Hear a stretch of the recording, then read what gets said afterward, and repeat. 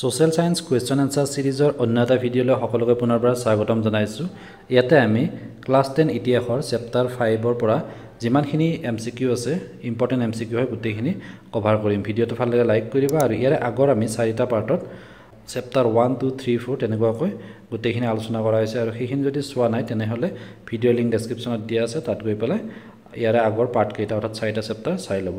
তো ইয়াতে আমি পঞ্চম চেপ্টাৰটো আলোচনা কৰিম আৰু ইয়াতে টপিকটো হৈছে ভাৰত আৰু উত্তৰ পূৰ্বাঞ্চলৰ সাংস্কৃতিক বৈশিষ্ট্য culture heritage of India and north east region পলম নকৰি কুৱেশ্যনছখিনি লৈ আহিছোঁ। প্ৰথমটো কুৱেশ্যন ভৰতমুনিৰ নাট্যশাস্ত্ৰত শ্লোক কিমানটা আছে?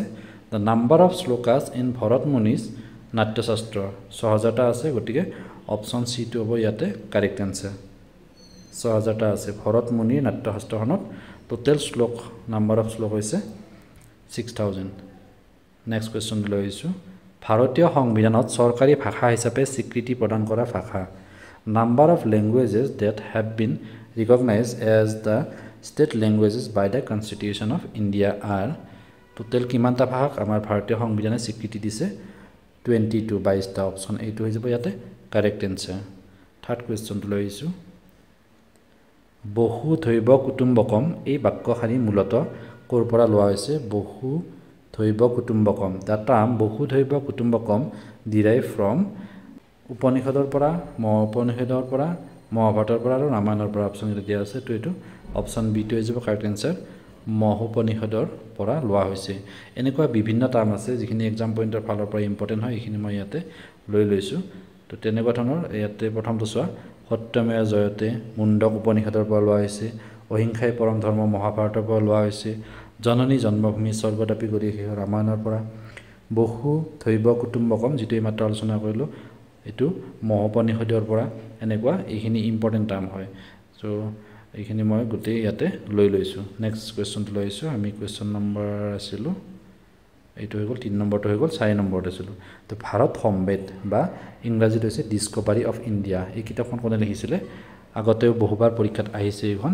তো কাৰেক্ট এনচাৰটো হৈ যাব Pandit Jawaharlal Nehru option number A Jawaharlal নেহেৰুৱে ডিছকভাৰী অফ ইণ্ডিয়া বা ভাৰত সম্বেদ নামৰ গ্ৰন্থখন লিখিছিলে। নেক্সট ফাইভ নম্বৰ কুৱেশ্যনটো লৈ আহিছোঁ। বিবিধতাৰ মাজত একতা এই কথাফাঁকিয়ে স্থায়িত্ব লাভ কৰিছিল।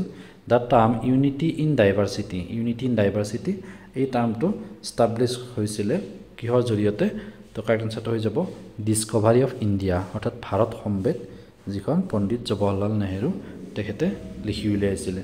তো সেই কিতাপখনৰ জৰিয়তে ইউনিটি ইন ডাইভাৰ্চিটি বা বিবিধতাৰ মাজত ঐক্যতা কথাফাঁকিয়ে স্থায়িত্ব লাভ কৰিছিল।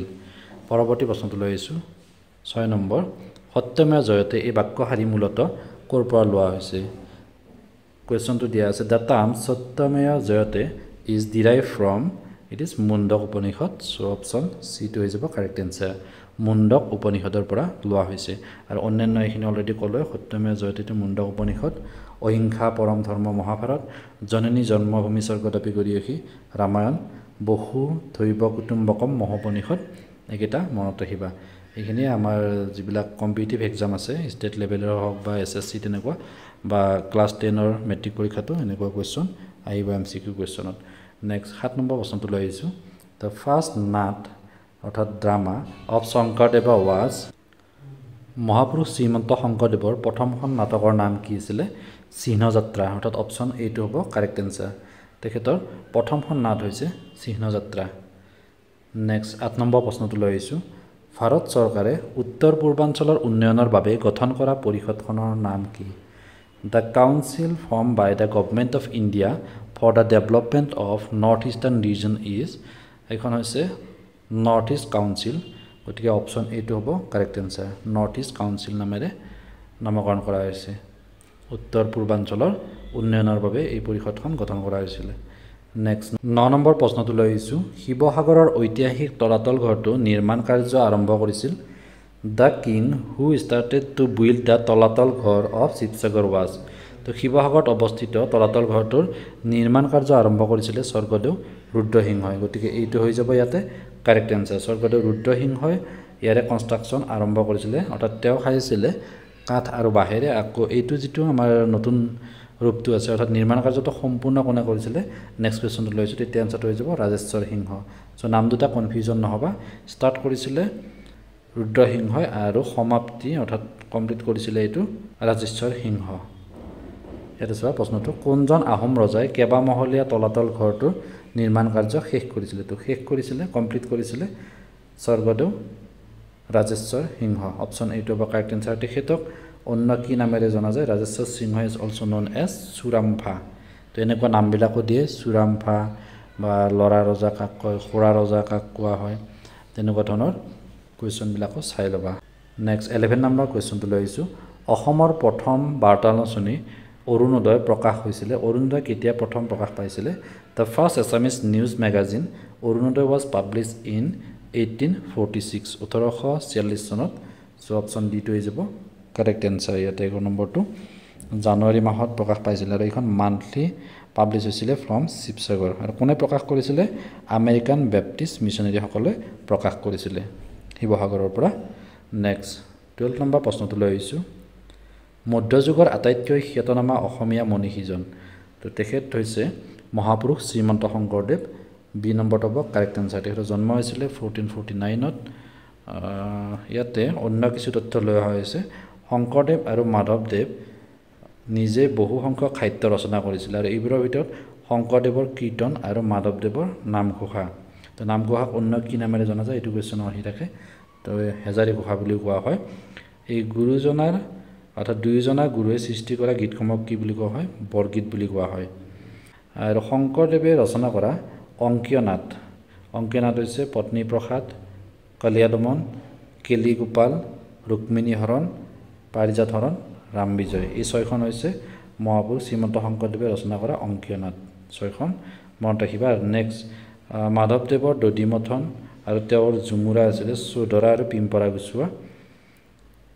শংকৰদেৱৰ প্ৰথম নাটখন আছিলে চিহ্নযাত্ৰা এইটো কুৱেশ্যন আহে শংকৰদেৱৰ প্ৰথমখন নাট কি হয়? মহাপুৰুষ শ্ৰীমন্ত শংকৰদেৱৰ চিহ্নযাত্ৰা আৰু তাত যিটো বস্ত্ৰ ব্যৱহাৰ কৰিছিলে তো সেই বস্ত্ৰটো বৃন্দাবনী বস্ত্ৰ বুলি কোৱা হয়। আৰু এই বস্ত্ৰভাগী বৰ্তমান ব্ৰিটিছ মিউজিয়ামৰ উপৰিও আন কেইবাটাও বিখ্যাত সংগ্ৰহালয়ত সংগ্ৰহিত হৈ আছে। তো বৃন্দাবনী বস্ত্ৰ একাংকীয় নাট নামঘোষা কীৰ্তন চিহ্নযাত্ৰা বা শ্ৰীমন্ত শংকৰদেৱে ৰচনা কৰা অংকীয় নাট এই গোটেইখিনি তথ্য ইয়াতে সন্নিৱিষ্ট হৈ আছে। এইখিনি চাই ল'বা মনত ৰাখিবা। পৰৱৰ্তী প্ৰশ্নটো লৈ আহিছোঁ। ভিডিঅ'টো ভাল লাগিলে লাইক কৰিবা আৰু যদি প্ৰথমবাৰৰ বাবে আমাৰ চেনেলটো চাই আছে তেনেহ'লে ছাবস্ক্ৰাইব কৰিবা আৰু ওচৰত থকা বেল বটনটো দবাই ৰাখিব। তেতিয়া আমি ইয়াৰে পিছৰ নেক্সট ভিডিঅ'বিলাক আপলোড কৰিলে তাৰ নটিফিকেশ্যনবিলাক লাভ কৰি থাকিবা। Next thirteen number Chapchar Kut. Chapchar Kut কোন গোষ্ঠীৰ উৎসৱ হয়? চপচৰ কোটটো হৈছে এইটো মিজুচ অপশ্যন বিটো কাৰেক্ট এনচাৰ হ'ব মিজুসকলৰ মিজুসকলৰ উৎসৱ আৰু তেওঁলোকে নাইনটিন ছেভেণ্টি থ্ৰীৰ পৰা এই উৎসৱটো পালন কৰে ঊনৈছশ তেসত্তৰ চনৰ পৰা মিজুসকলে চপচৰ কোট উদযাপন কৰিবলৈ লৈছে। পৰৱৰ্তী প্ৰশ্নটো লৈছোঁ চৈধ্য নম্বৰ মিজু শব্দৰ অৰ্থ কি? তো মিজু শব্দটোৰ অৰ্থ বাছি উলিয়াব দিছে what is the meaning of the term Mizo?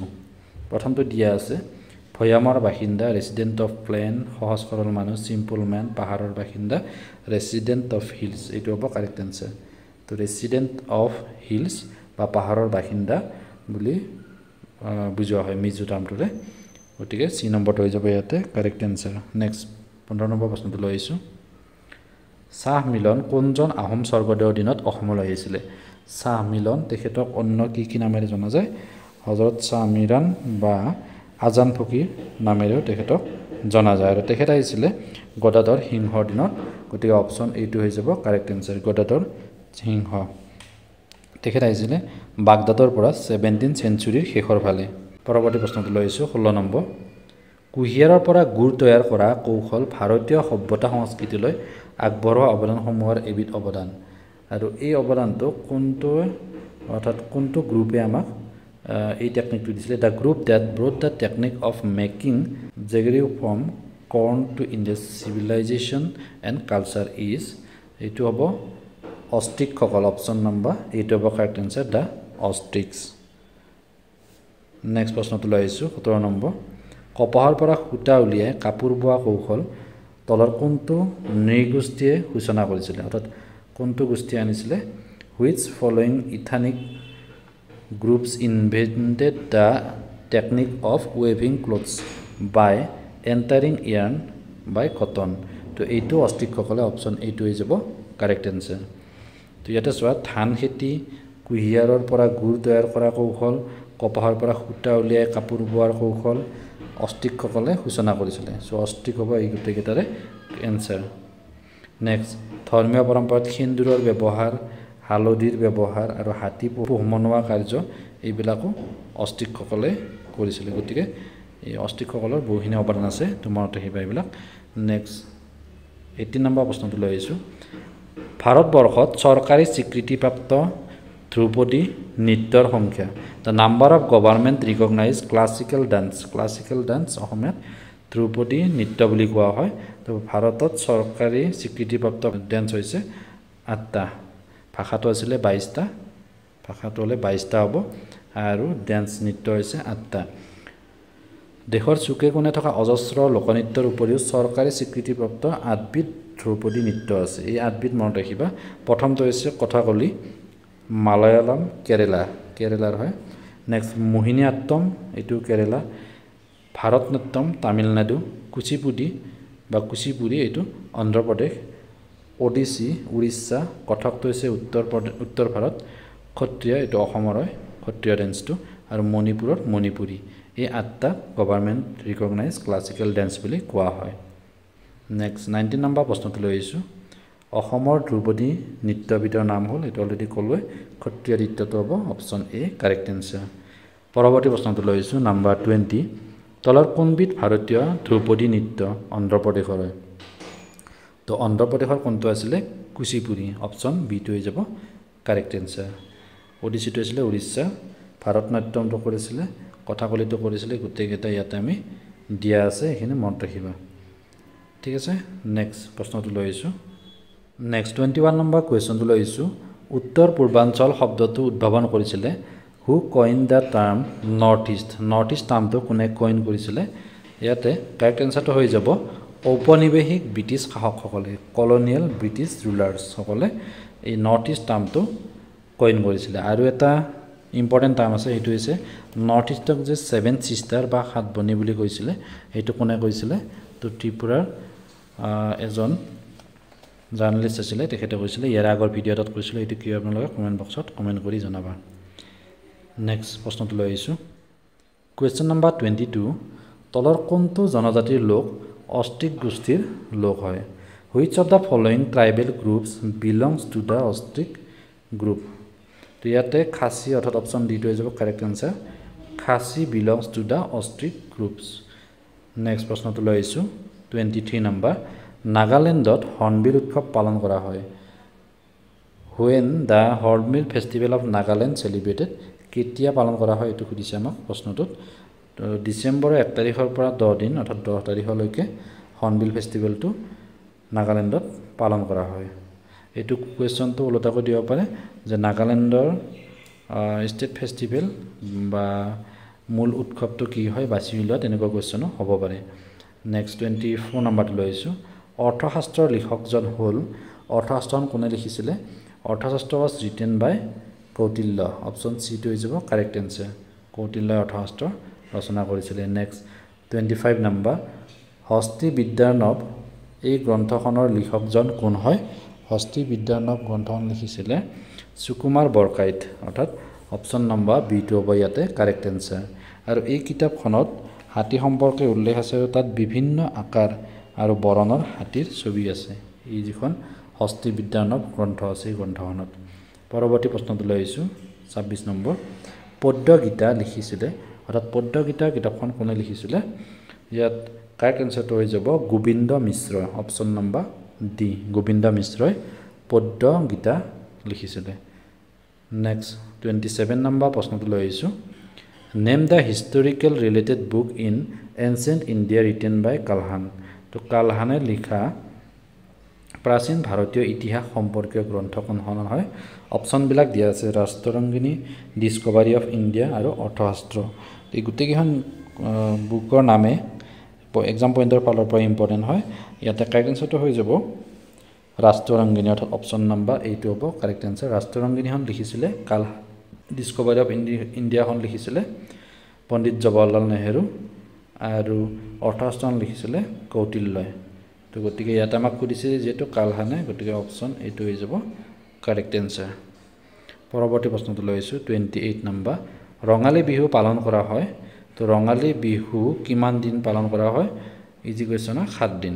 সকলোৱে জানে এইটো অসমীয়াৰ বাপতি সাহোন ৰঙালী বিহু। তো ৰঙালী বিহু সাত দিন পালন কৰা হয় আৰু ইয়াতে তথ্যখিনি উল্লেখ কৰিছোঁ। সাত বিহু কি কি নামেৰে ৰঙালীৰ সাত বিহু কি কি নামেৰে আমি জানো? তো গৰু বিহু প্ৰথম দিনা পালন কৰা হয় অৰ্থাৎ উৰুকাৰ দিনা। নেক্সট মানুহ বিহু ইয়াৰে পিছত গোসাই বিহু কুটুম বিহু চেনেহী বিহু মেলা বিহু আৰু শেষৰ দিনটো চেৰা বিহু হিচাপে পালন কৰা হয়। এই সাতটা হৈছে সাত বিহু। উৰুকাৰ দিনাটো হৈছে গৰু বিহু নেক্সট মানুহ বিহু গোসাই বিহু কুটুম চেনেহী মেলা আৰু চেৰা বিহু। আৰু এটা কমেণ্ট কৰিব উজনি অসমত মহিলাসকলে পুৰুষসকলক নেদেখাকৈ এটা বিহু পালন কৰে। সেই বিহুটোৰ নামটো কি হয় আপোনালোকে কমেণ্ট বক্সত কমেণ্ট কৰিবচোন এইটো। এটা শব্দ হয়। ভিডিঅ'টো ভাল লাগে লাইক কৰিবা আৰু ইয়াৰে পিছত আমি অন্য এটা টপিকৰ সৈতে পুনৰবাৰ লগ পাম। ধন্যবাদ।